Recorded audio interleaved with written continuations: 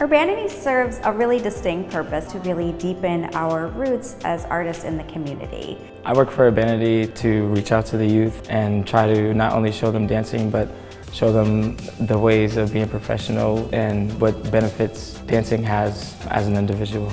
Our usual community programming and our Dance with Parkinson's program I think is really incredible. I've learned so much how dance can change lives.